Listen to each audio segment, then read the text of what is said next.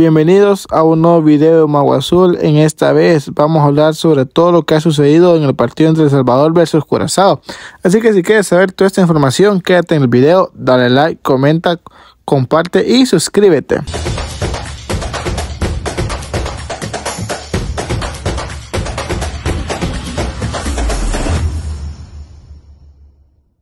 Y ahora hablemos un poco sobre lo que ha sucedido en el terreno de juego entre El Salvador y Curazao, luego de haber empatado 1 a 1. Y también recordemos que el partido pasado de la selección fue un empate 1 a 1. Pues bien, en este partido, entrando un poco en contexto, El Salvador regaló un penal a Curazao, donde el Curazao aprovechó la oportunidad y nos puso el 1 a 0 en el primer tiempo. Y como ya sabemos, ya hemos repetido esto, la selección siempre entra perdida, desconcentrada en el primer tiempo y es lo que siempre nos pasa factura.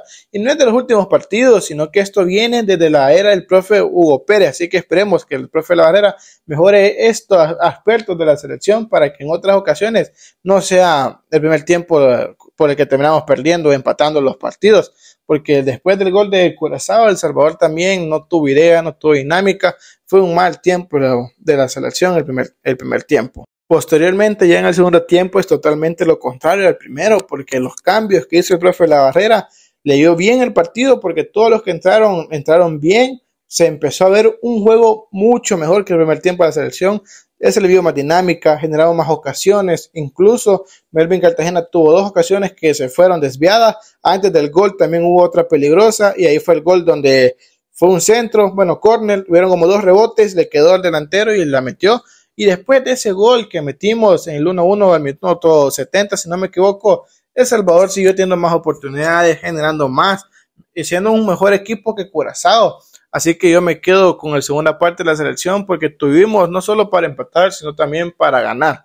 Y un dato como curioso, el profe Larrera no ha comenzado mal su proceso con la selección porque solo ha dirigido cuatro partidos, los cuales ha empatado tres dos de visita, uno de local y ha perdido uno de visita. Así que esperemos que el profe La Barrera vaya mejorando su récord con la selección. Porque eh, sí, es cierto, hemos ganado desde hace como 15 partidos, pero de los cuales 11 o 12 han sido dirigidos por Hugo Pérez. No, no, no podemos olvidar ese dato.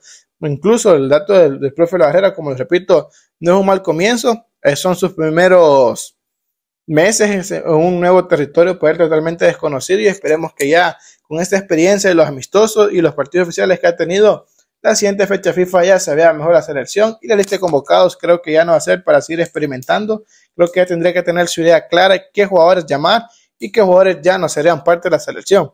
Así que dejen en los comentarios qué opinas sobre, sobre, el partido de la selección, si te gustó o no te gustó, o qué harías tú para mejorar un poco el funcionamiento de la selecta.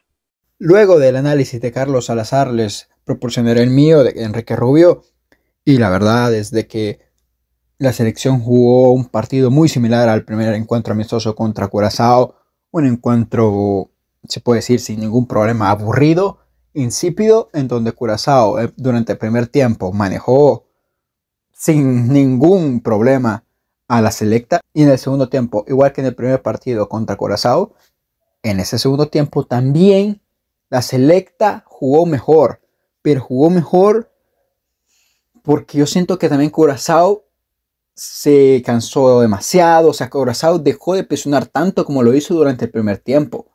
Y alguna inclusión de algunos jugadores también fue clave para la mejoría de la selecta durante este segundo tiempo.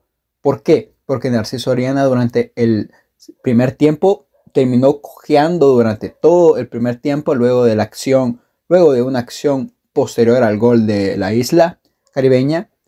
Y bueno, eso limitaba demasiado el movimiento del centrocampista salvadoreño que con la inclusión de Melvin Cartagena le dio otro aire a la selección. Es cierto que Melvin Cartagena erró, se puede decir, dos disparos desde muy cerca, pero su función cabe aclarar que no es anotar goles.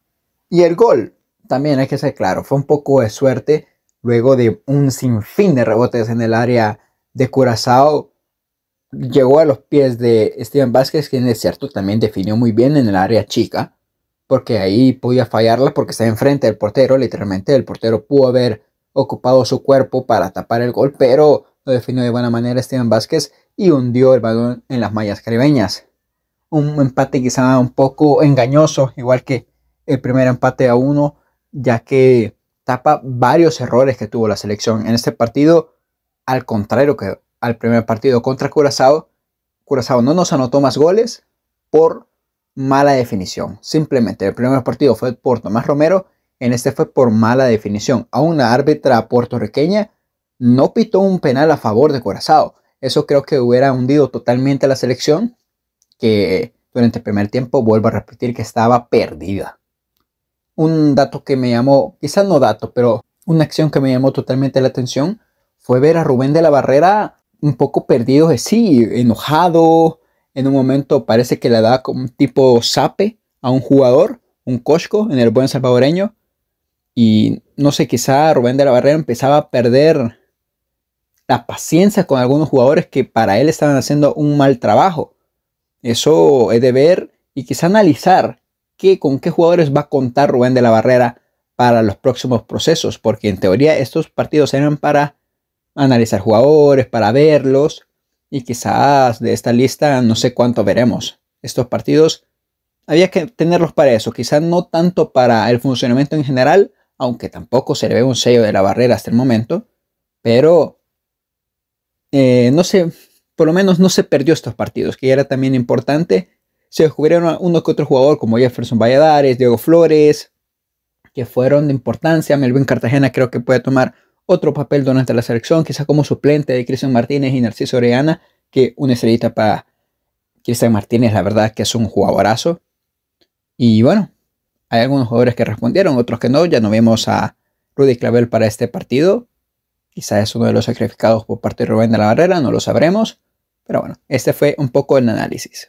Y esto fue todo. Espero que te haya gustado este nuevo video de Mago Azul. Dejen en los comentarios qué posibles jugadores ya no llamarías a la selección y qué otros sí pudieras llamar a la selección para una nueva futura de las convocatorias. Así que nada, espero que te haya gustado el video. Dale like, comenta, suscríbete y nos puedes apoyar con un super chat. Y nada, esto fue Mago Azul y yo soy Carlos Salazar.